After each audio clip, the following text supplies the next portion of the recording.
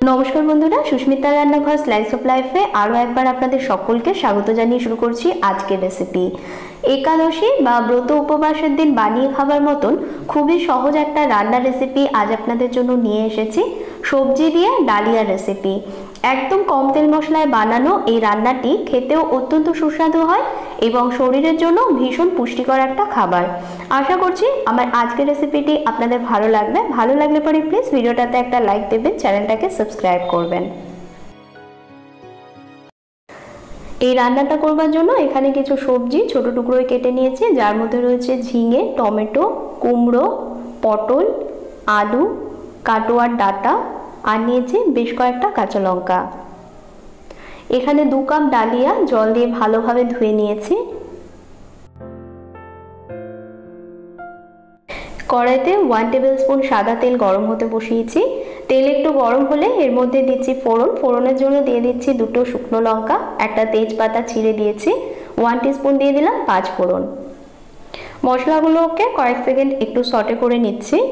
দশ সেকেন্ডের মতন সটে করে নেবার পর এর মধ্যে সমস্ত কেটে রাখা সবজিগুলোকে দিয়ে দিচ্ছি। গোটা কাঁচা লঙ্কাগুলো এর মধ্যে দিয়ে দিলাম। ওয়ান টেবিল স্পুন দিয়ে দিচ্ছি নুন। সবজির সাথে নুন মিশিয়ে নিয়ে বেশি আছে সবজিগুলোকে কিছুক্ষণের জন্য সাঁতলে নেব। একাদশী রান্নায় আমাদের বাড়িতে কোনো রকম মশলা ব্যবহার করা হয় না। যেমন হলুদ গুঁড়ো, লঙ্কা গুঁড়ো বা আদা বাটা। তবে আপনারা যদি দিতে চান, তাহলে পরে এর মধ্যে অল্প হলুদ গুঁড়ো, লঙ্কা গুঁড়ো, আদা বাটা এসব দিতে পারেন। বেশি আছে, সবজিগুলোকে বেশ কিছুক্ষণের জন্য সাঁতলে নিচ্ছে। প্রায় পাঁচ মিনিট বেশি আছে, সবজি সাঁতলে নেবার পর সবজি থেকে দেখুন বেশ কিছুটা জল ছেড়েছে। এবার এর মধ্যে দিয়ে দেবো আগে থেকে ধুয়ে রাখা ডালিয়া।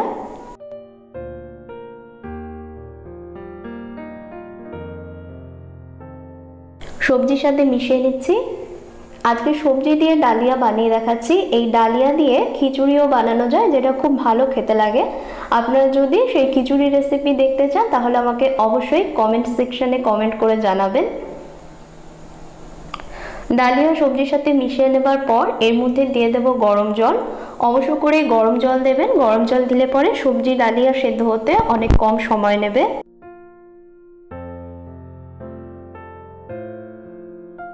দু কাপ জল দেবার পর সব একবার মিশিয়ে দেখে নিচ্ছি। আরও একটু জল লাগবে, তো এর মধ্যে আমি আরও এক কাপ জল দিয়ে দিচ্ছি। বড় কাপে মেপে টোটাল তিন কাপ গরম জল এর মধ্যে আমি দিয়েছি। ওয়ান টেবিল স্পুন দিয়ে দিচ্ছি চিনি, যেহেতু এটা নিরামিষ রান্না, অল্প চিনি দিলে খেতে ভালো লাগে। সামান্য একটু নুন দিয়ে দিচ্ছি। সবজি সাতলানোর সময় আমি পরিমাণ মতো নুন দিয়ে দিয়েছি। এখন আরও একটু দিয়ে নুন অ্যাডজাস্ট করে নিলাম। আপনারা নিজেদের স্বাদ অনুযায়ী নুন অ্যাডজাস্ট করে নেবেন। এবার যতক্ষণ সবজি ডালিয়া ভালোভাবে সেদ্ধ না হচ্ছে, ততক্ষণ এটাকে রান্না করব। গ্যাসের আজ মাঝারিতে রেখে এগুলো আমি সেদ্ধ হতে দিচ্ছি। দু মিনিট পর পর হাতা দিয়ে সব মিশিয়ে দিতে হবে, যাতে কড়াইয়ের নিচে এটা লেগে বা পুড়ে না যায়। তো এভাবে করে প্রায় দশ মিনিট রান্না করবার পর সবজি, ডালিয়া দুটোই দেখুন সেদ্ধ হয়ে গেছে। এটা ঠান্ডা হওয়ার পর আরও একটু জমে যাবে। গ্যাস বন্ধ করে দিয়ে এর মধ্যে দিয়ে দিচ্ছি হাফ টিস্পুন ঘি। মিশিয়ে নিচ্ছি। তৈরি হয়ে গেল দারুণ সুস্বাদু, সহজ একটা একাদশীর রান্না। সবজি দিয়ে ডালিয়া। আশা করছি আমার আজকের ভিডিওটা ভালো লেগেছে। ভালো লেগে থাকলে প্লিজ ভিডিওটা নিচে লাইক বাটনে একটা ক্লিক করবেন।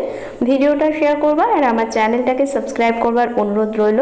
সাবস্ক্রাইব করবার সময় পাশে থাকা বেল বাটনটাকে অবশ্যই প্রেস করবেন, তাহলে আমার চ্যানেলে কোনো নতুন রেসিপি এলে সবার আগে আপনাদের কাছে নোটিফিকেশান পৌঁছে যাবে।